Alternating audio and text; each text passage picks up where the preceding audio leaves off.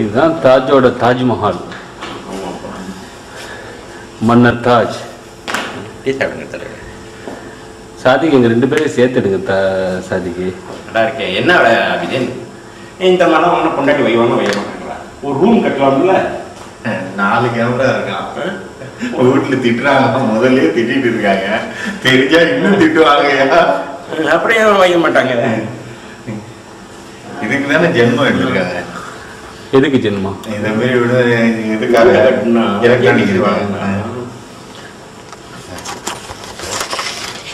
இது அப்படியே ஆன்ல இருக்கா?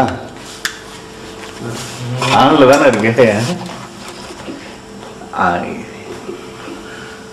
நீங்க எதுவும் பேசலாம். ஆமா பாதி தான் வருது. ஃபுல்லு வர மாட்டேங்குது ஆ.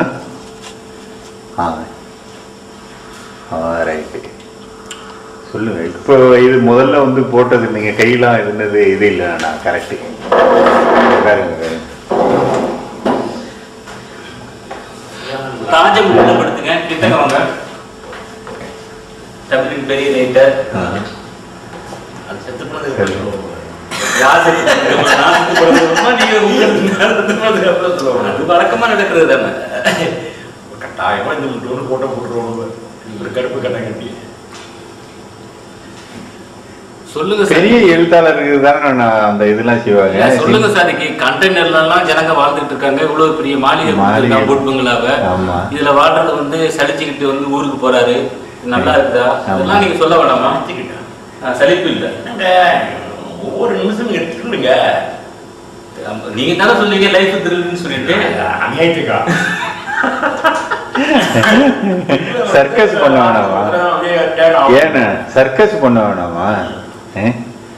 கடையில கூட்டி கத்துனா நம்புவீங்களா குடிச்சிங்கன்னு சொல்றது நம்ம கத்துனதுன்னு நம்ப முடிய மாட்டேங்க கத்திருப்பீங்க வெளியில போய் கத்திருப்பீங்க இங்க தேல கத்திருக்கணும்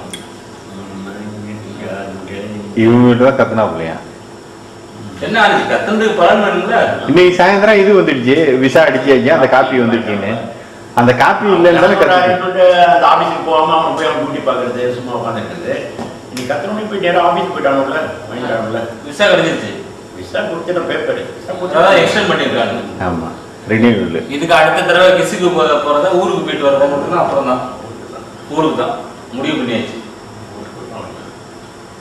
இல்ல இவங்க விசா உடல்கிட்ட வரதான் பிரச்சனை இல்லை இல்லை இவனுக்கு தெரியல இவன் அதெல்லாம் அதுக்கப்புறம் சாதிக்கு சொன்னதான் இவன்ட்டு இல்லைன்னா வேற எங்கேயா சாதிக்கு தான் சொல்றாரு. எல்லாத்தையும் விஷம் வச்சிருக்கேன்னு தான் சொல்றாரு. ராஜா வந்து அல்பர்ட் சேஞ்சர் நீ சொன்னீங்க சொன்னீங்களா இல்லையா? ஜித்தால இருந்து பேசி. போய் ஸ்டேஞ்சரை பாருங்கிறாரு ஆமா நான் ஒர்க் பண்ண கம்பெனி ஆ.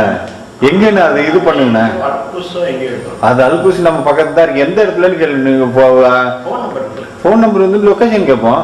எங்க இருக்குன்னு? கொரியர் வந்திருக்குன்னு சொன்னேன். எனக்கு வந்து விசா கொடுக்க சொல்லு. நான் எனக்கு டிரைவிங் லைசன்ஸ் எடுத்துடுறேன் நானு. நான் அங்க பார்த்து ஜாப் பார்க்குறேன் மெட்டீரியல் கமிஷன் கரெக்ட் சொல்றேன் இருக்காரு போதுமாண்ணா கிட்ட கொண்டு தாஜி அபிப்பிராயத்தை கேளுங்க. என்ன சாதிக்குது இல்ல தாஜி அபிப்பிராயம் அப்புறம் ஒரு அலுமினி தட்டு தான் இல்ல. அந்த மாதிரி ஒரு ட்ரெஸ் பெரிய அதுதான் நாங்க இருக்கிற மெகல ஏந்திங்க நாங்க தான் அது.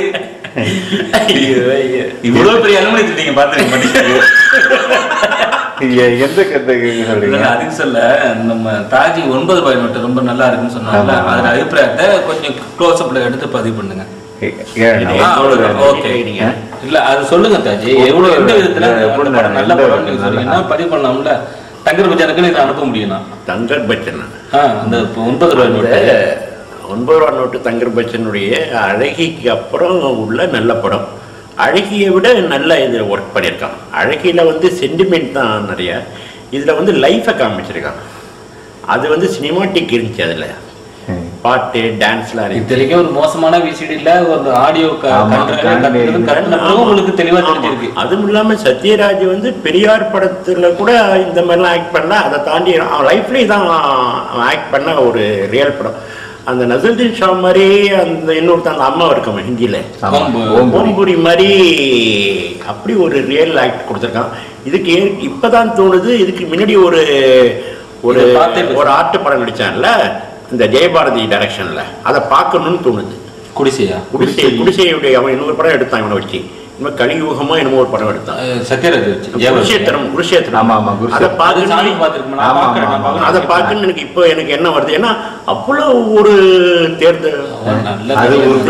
நடிகர்? ஆ. இது வந்து வீட்டை வெளியில வர. வந்து அவனுக்கு வந்து நேஷனல் அவார்டு வந்து கிடைக்கணும். நான் வந்து அந்த கமிட்டியில இருந்தா அவனுக்கு நேஷனல் அவார்டு தூக்கி கொடுத்துருவேன் கண்ணை மூட்டு அக்கா இதை வந்து முடிச்சிருங்க இதோட. இப்ப தூக்கி கொடுத்துட போறாரு அது முடிச்சிருங்க நீங்க சேர்ந்து.